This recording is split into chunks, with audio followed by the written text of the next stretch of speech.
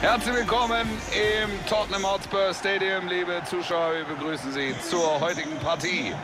Mein Name ist Wolf Fuß, neben mir sitzt der Kollege Frank Buschmann. Wir werden das Ganze für Sie daheim kommentieren und wir zeigen heute eine Begegnung aus der Premier League.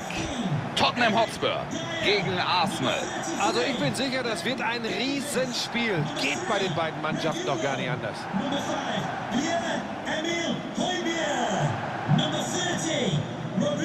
Rodrigo Bentancur. Number 21, Dijan Kulusevski. Tolles Stadion, Buschi, und tolle Fans. Erleben wir hier ja immer wieder. Die unterstützen ihre Jungs einfach, wo es nur geht. Das ist ein Riesenspektakel. So will Tottenham Hotspur also heute in die Partie gehen. Im Tor heute Hugo Lloris. Eric Dyer spielt neben Ben Davis in der Verteidigung. Rodrigo Betancourt steht neben Pierre-Emile Højbjerg im Mittelfeld. Und der einzige Stürmer ist Harry Kane. Und da haben wir die Startformation von Arsenal. Wir spielen heute in einem offensiven 4-5-1. Interessante Entscheidung, Wolf. Da ist eine Menge los im Mittelfeld. Da brauchst du gute Leute, da brauchst du Laufbereitschaft und Flexibilität.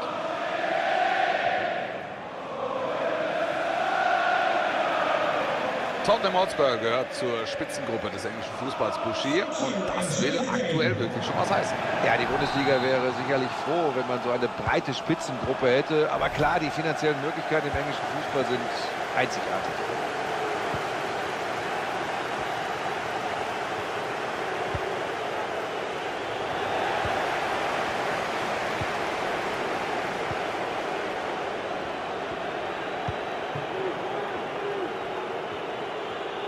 Aktion, er lässt den Verteidiger stehen. Da trennt er ihn fair vom Ball. Romero.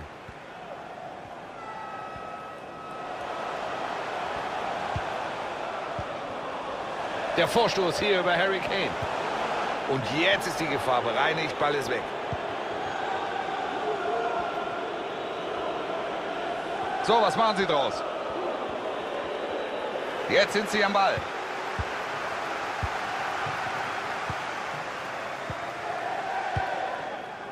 Rodrigo Betancourt. Matt Doherty.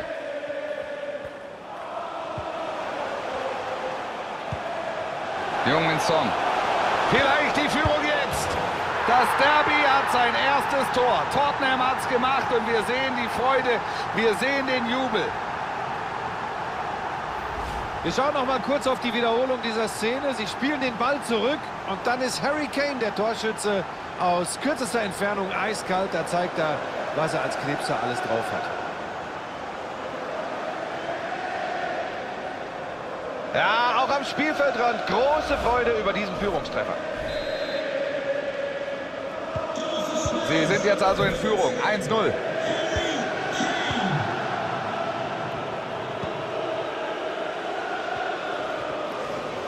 Machen Sie gut. Ball erstmal weg. Er entscheidet auf Foul, aber da kann er die Verwarnung noch stecken lassen.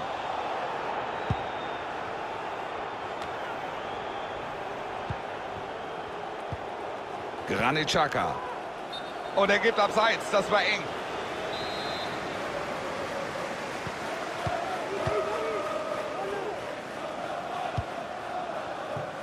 Matt Doherty.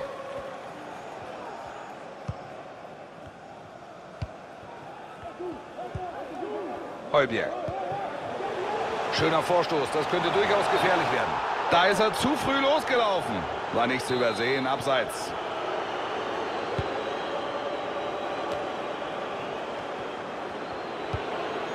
Thomas.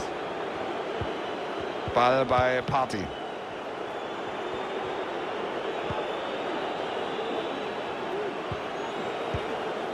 Sie scheinen sich den Gegner zurechtlegen zu wollen. Der Ball läuft gut, aber noch finden sie keine Lücke.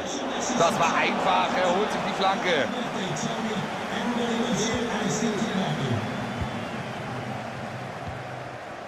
Heubier.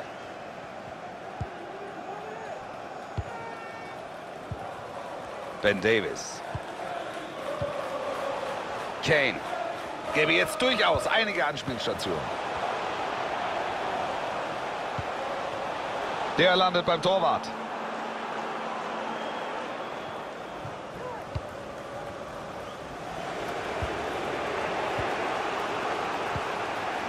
Thomas.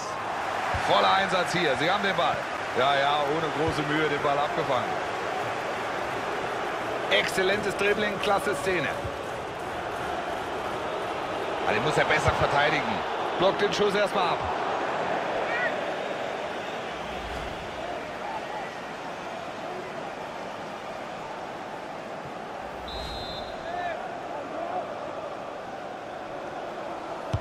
Da kommt die Ecke. Da sind sie immer noch sehr gefährlich. Achtung jetzt.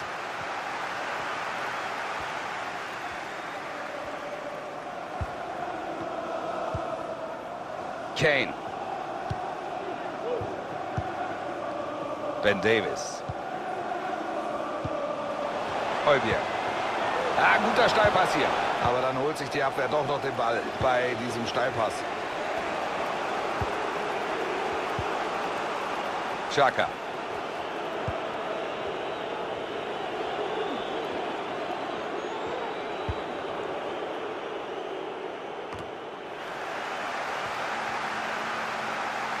Vorne jetzt die Balleroberung. Bleibt Sieger in diesem Zweikampf. Ja, der Schuss jetzt. Guter Versuch, aber kein Tor. Na, sah vielversprechend aus, aber es fehlen die entscheidenden Zentimeter. Die Gastgeber haben so ihre Probleme beim Ballbesitz, aber das kümmert sie offenbar überhaupt nicht. Sie haben sich diese Führung erarbeitet mit Effizienz, mit Einsatz äh, und Ballbesitz ist eben nicht alles, ne?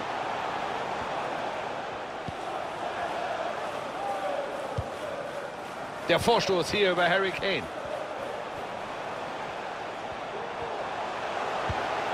Jungen Son. Kane mit dem Treffer.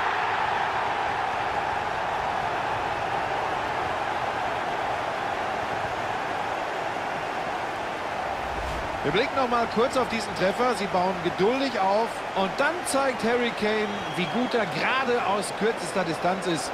Er macht das Tor, lässt sich überhaupt nicht beirren.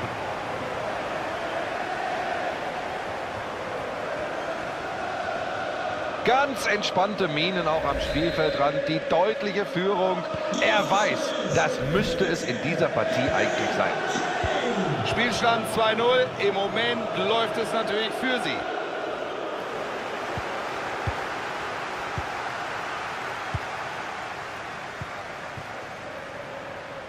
Was macht er draus? Jetzt die Flanke an den langen Pfosten. Sie klären.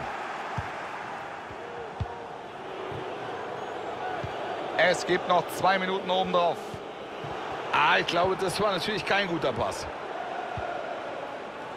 Sieht gefährlich aus. Platz für die Flanke. Flanke kommt kurz. Dankbarer Ball, ungefährlich. Zur Pause eine scheinbar beruhigende Führung. Es steht 2 zu 0, aber sie müssen weiter konzentriert bleiben.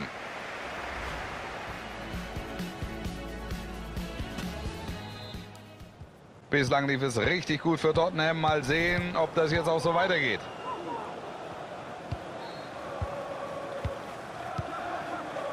Rodrigo Betancourt. Ben Davis. Heubier. Klasse Einsatz, aber kommt auch an den Ball. Martin Oedegaard. Vorteil jetzt für Arsenal. Super gemacht. Mit einem Hechtsprung kommt er an den Ball. Das war gefährlich. Er ist zur Stelle ein klasse Keeper.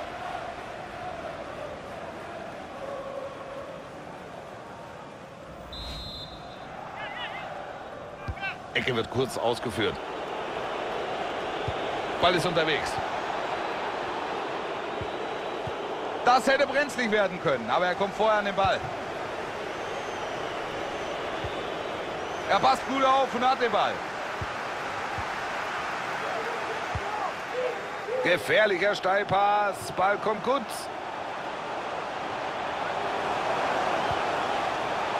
Ja, könnte was werden.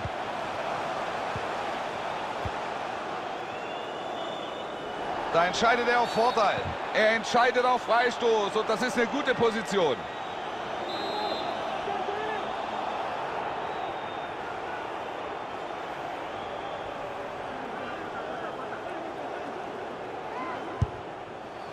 Tote ist da, kein Problem bei diesem Freistoß.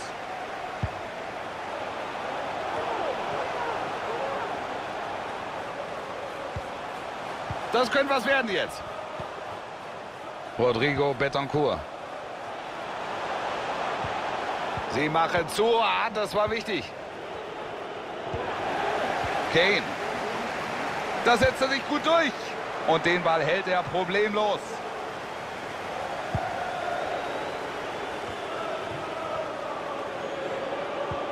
So, und jetzt sind hier noch 30 Minuten zu absolvieren.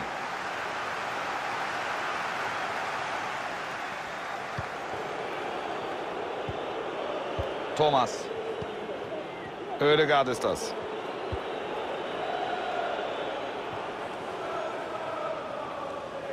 Der Ball ist im Aus, das gibt Einwurf. Sie nehmen eine Auswechslung vor. Jetzt können sie den Ball reinbringen. Er spielt den Pass zurück.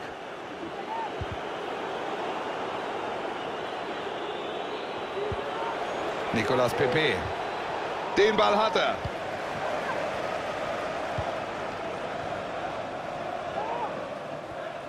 Könnte den Konter geben. Guter Pass jetzt.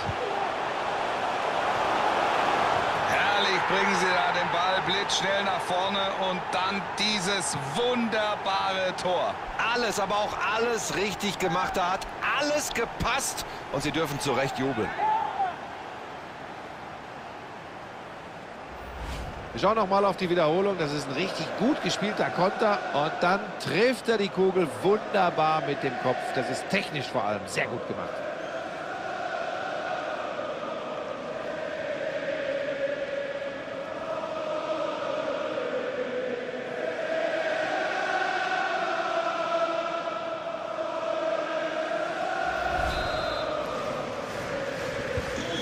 Spätestens jetzt wird es eine ziemlich klare Angelegenheit. 3 zu 0.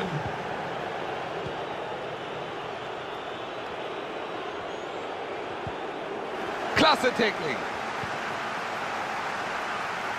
Noch sind hier 20 Minuten zu absolvieren. Er hat Platz zum Flanken. Weiter diese Szene, immer noch Gefahr. Brauchbarer Kopfball, aber der geht neben das Tor.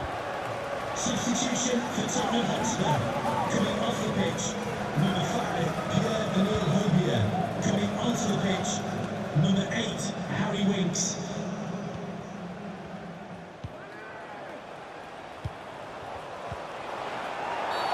Er gibt dem Spieler die Chance weiter zu spielen, aber da kommt er nicht mehr richtig in Tritt, also dann doch Freistoß.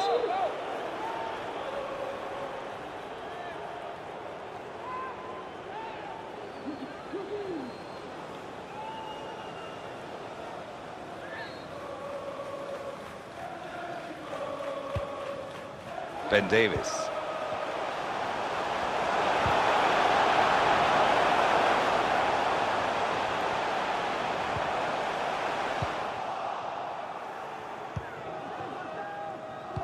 Die Chance jetzt vielleicht zum Konter.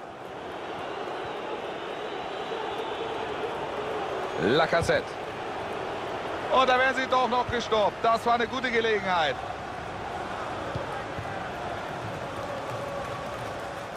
Kane verliert den Ball. Was macht er draus? Und ich glaube, damit ist die Gefahr jetzt erstmal bereinigt.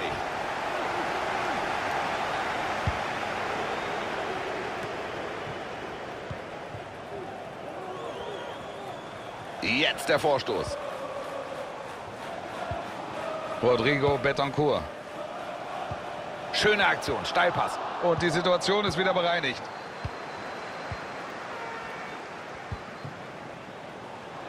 Pepe sehen wir da. Chance jetzt zur Flanke. Sie bekommen den Einwurf. Jetzt kommt hier der Wechsel. Direkt wieder zurück. Onto the pitch, number 30, Ah, da geht er vorbei. Und damit ist der Ball weg. Steilpass, gefährlich. Kane. Da ist die Chance. Was für eine Parade. Also ich glaube ehrlich gesagt, dass sie das Tor hier machen müssen. Aber der Keeper, sensationell.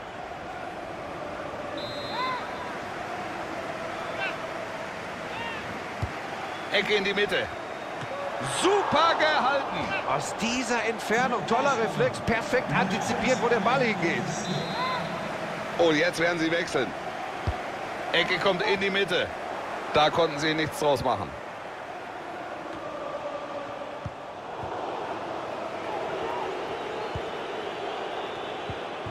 Edward Nketiah. Oedegaard ist das. Martin Oedegaard. Ball ist weg. Klasse Pass. Harry Kane. Kane, den muss er machen. Er versucht mit dem Heber. Ah, Latte. Was für ein Pech. Das wäre ein super Tor gewesen. Toller Lupfer.